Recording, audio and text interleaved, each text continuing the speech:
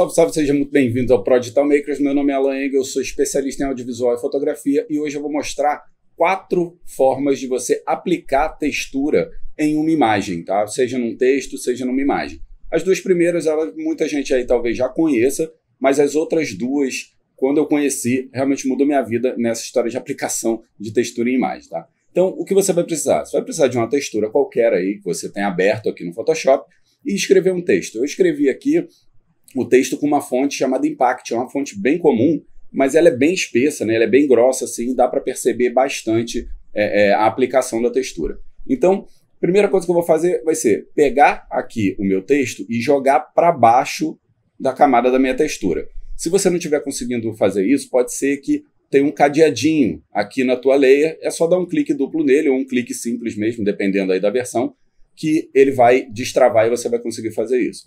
Então, a primeira é a mais simples e a mais rápida. Eu aperto, seguro Alt, ó, chego aqui com o mouse no meio das duas camadas e clico aqui. Isso vai fazer com que eu tenha já minha textura aplicada, né? Ele pega como se fosse uma máscara esse meu texto. Ah, então, é, se eu fosse fazer, por exemplo, aqui no meu logo, isso não daria certo, porque ele não ia pegar esses detalhes do logo, porque ele iria entender só o círculo dele e iria cortar é, essa minha textura como um círculo. Então vou dar Ctrl Z aqui para voltar, tá? Continuo mantendo essa mesma estrutura de textura em cima e o texto embaixo.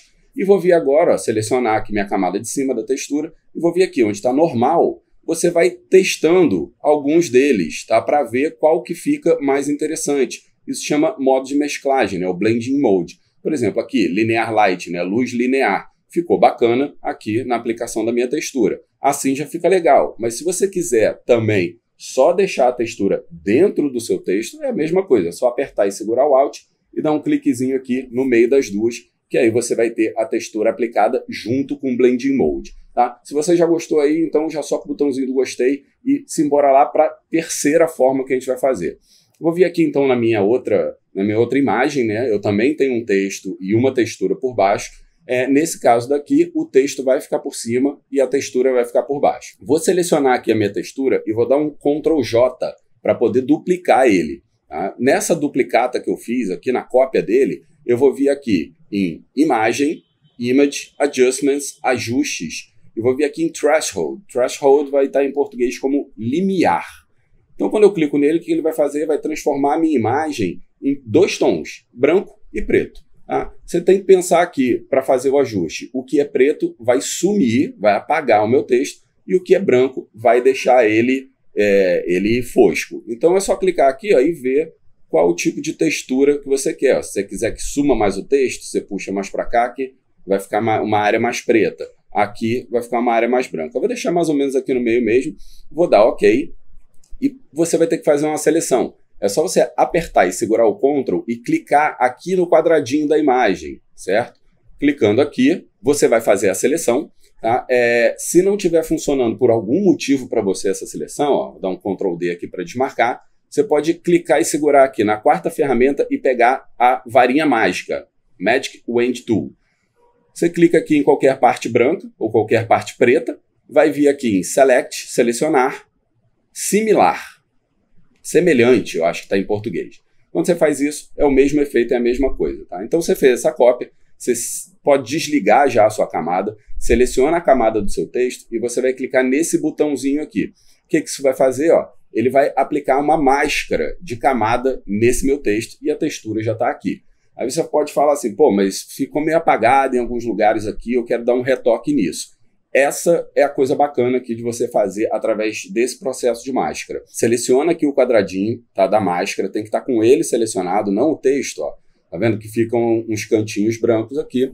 Você vai pegar aqui um brush qualquer, tá? um pincelzinho desse aqui qualquer, vai vir aqui em cima e vai escolher qual tipo de pincel que você quer. Tá? Então aqui tem, tem vários, né? tem várias pastinhas. Eu vou pegar um aqui que fica dentro dessa é, pincéis de efeitos especiais, alguma coisa assim, que deve estar em português, pegar qualquer um deles, que ele parece uma, um respingo de tinta. Para aumentar ou diminuir o tamanho do pincel, você pode vir aqui em size, né, no tamanho dele, ó, dar uma aumentadinha nele.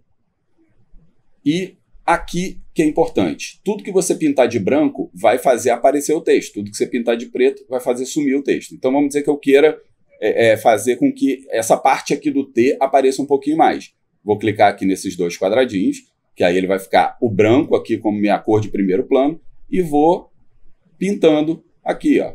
Tudo que eu for pintando, ele vai fazendo aparecer. E aí você vai fazendo isso aqui. Certo? Bacana também. Vou então desligar aqui a visualização e vamos fazer a última forma, que é a forma que eu realmente mais gosto, que eu mais me interessei quando eu aprendi a fazer isso. Vou pegar aqui a ferramenta de seleção, então. Vou vir aqui no meu logo, ó, vou clicar, segurar e arrastar, parar aqui em cima e voltar para cá para o centro e soltar. Assim eu tenho meu logo aqui na minha, no meu outro documento. Eu vou então fazer o seguinte: Aqui na área que está vazia, né, não é em cima do nome, não é em cima da imagem. Aqui na área que está vazia, eu vou dar um clique duplo. Quando isso aqui abrir, ó, eu vou vir nessa primeira opção, Blending Options, né, opções de mesclagem, e vou pegar essa parte aqui de baixo, Undering Layer. Tá? É como se fosse a camada, a camada inferior. E por quê? Porque eu quero pegar a textura dela e aplicar aqui em cima. Se eu quisesse fazer o contrário, eu mexeria nessa camada, tá? mas eu quero fazer a textura de baixo ser aplicada aqui em cima. Então eu vou pegar aqui, ó, toda a parte escura, conforme eu vou arrastando para cá, toda a parte escura que eu tenho aqui na, na minha imagem de baixo, na minha textura de baixo, vai vazar na minha camada de cima, no meu logo. Tá? E aqui o contrário, aqui toda a parte mais clara também vai vazar. Tá? Ficou um pouco falso porque ele está cortando literalmente uma, de uma forma muito, muito, muito forte. Como é que a gente pode fazer para suavizar isso? Aperte segura o Alt, ó, clica aqui, segura e arrasta, ele vai separar esse meu triângulozinho aqui. E aí isso daqui vai dar uma suavidade. Quanto mais afastado eles estiverem, ó, mais suave vai ficar. Que é a mesma coisa, aperte segura o Alt e pronto. Agora, ó, a gente tem uma texturização já bem mais interessante. Vou dar OK. Se você falar assim, ah, mas está muito clarinho, eu queria um pouco mais forte, duplica aqui sua camada. Eu vou chegar, Command J, Ctrl J, né, para quem trabalha com Windows, e é só depois, se você quiser, ó, você pode dar uma diminuída na opacidade e tá aí a aplicação da nossa textura, beleza? É isso, espero que você tenha gostado do vídeo. Se gostou, se inscreve aí no canal, né, ativa as notificações para receber outros vídeos aqui sempre que eu postar. É isso, grande abraço, até o próximo vídeo.